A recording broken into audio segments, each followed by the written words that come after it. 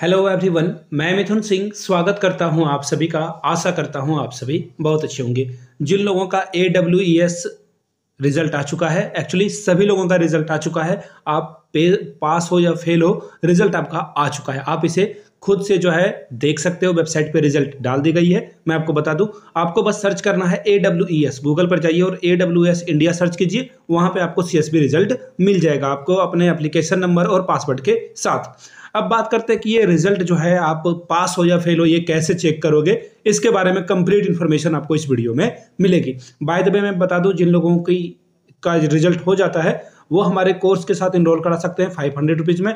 इसमें आपको छः सेशन कराए जाएँगे ऑनलाइन इससे आपको आइडिया लगेगा कि कैसे आपको सिलेक्शन लेना है। बाय द वे कुछ लोगों ने, जो पिछली बार जिन लोगों ने सिलेक्शन लिया है, उनसे भी आपका इंटरेक्शन कराया जाएगा ताकि आप जो है अच्छे से एग्ज़ाम को क्वालिफाई कर पाओ। तो टेंशन लेने की ज़रूरत नहीं है, आप इनरोल करा सकते हो। यहाँ से मेरी ईमेल आईडी देख लो your Mithun Singh at the rate Gmail dot com पर आप मुझे मेल कर सकते हो। If you on Instagram then do follow me at the rate I Mithun Singh वहाँ से भी इंट्रैक्शन हो सकती है।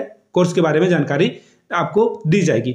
अब मैं आपको लेकर चलता हूँ, देखिए, कि रिज़ल्ट आप जो है कैसे चेकआउट करोगे। सबसे पहले यहाँ से मैं आपको एक रिज़ल्ट दिखाता हूँ, देखिए।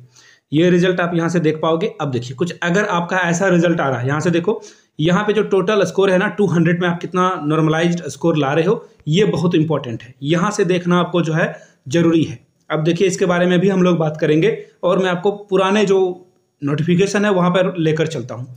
अगर यहाँ स्कोर आपका हंड्रेड है, समझ रहे हो? दो सौ में अगर एक सौ अगर आप ला रहे हो वन हंड्रेड ला रहे हो, इसका मतलब आप जो है किसी भी पोस्ट के लिए जो है एलिजिबल हो जाते हो। एलएसबी के लिए नहीं, बल्कि आप जो है सीएसबी के लिए एलिजिबल हो जाते हो। देखिए एलएसबी क्या होता है कि जिन लोगों ने सीएसबी का एग्ज़ाम नहीं दिया है या फिर जिनका फिफ्टी परसेंट से कम है, वो भी यहाँ पे यहाँ पे अप्लाई कर सकते हैं। और एलएसबी में सैलरी कम होती है सीएसबी के मुकाबले। आप लोगों ने एग्ज़ाम दिया है सी का।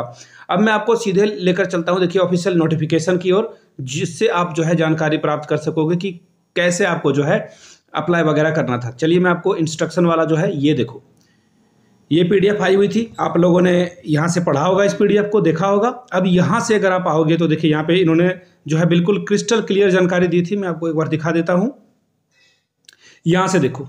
इस ऑनलाइन स्क्रीनिंग टेस्ट वाले, अगर आप नोटिफिकेशन को पढ़ोगे, यहाँ पे देखिए इन्होंने लिखा रखा है रेगुलर कैंडिडेट जो भी अगर पचास नंबर लाते हैं सौ में, सौ नंबर लेकिन यहाँ पे एग्ज़ाम आपका कितना हुआ है? दो सौ नंबरों का तो दो सौ में अगर आप सौ नंबर ला रहे हो तो आपका काम बनेगा। अगर आप अस्सी नंबर ला रहे हो सौ में अगर आपका स्कोर 80 है सॉरी 200 में अगर 80 है आपका तो भी आपका जो है काम चल जाएगा। लेकिन वो जो है फिक्स टर्म वैकेंसी के लिए एडॉक वाले वैकेंसी के लिए अप्लाई कर सकते हैं आर्मी पब्लिक स्कूल में। आज रात को आठ बजकर दस मिनट पर एक वीडियो आएगी, वो वीडियो ज़रूर देख लें। कैसे इंटरव्यू होता है डेमोस्ट्रेशन कैसे होता है कंप्यूटर टेस्ट कैसे होता है, तैयारी कैसे करनी है एग्ज़ाम में कैसे अपेयर होना है ईच एंड एवरीथिंग वैकेंसी कैसे आप फाइंड आउट करोगे, कहाँ कहाँ से आई हुई है। खैर, आज तीन से चार वैकेंसी मैं आप लोगों के लिए पोस्ट करने वाला हूँ अलग अलग स्टेट की। तो प्लीज़ बेल आइकन ज़रूर दबा लें, जो लोग पहली बार चैनल पे हैं, चैनल को सब्सक्राइब ज़रूर कर लें, ताकि आपको रेगुलर वैकेंसी के बारे में जानकारी मिलते रहे। तो चलिए, मिलते हैं किसी और वीडियो में। आई होप कि आपकी जानकारी क्लियर हो गई होगी।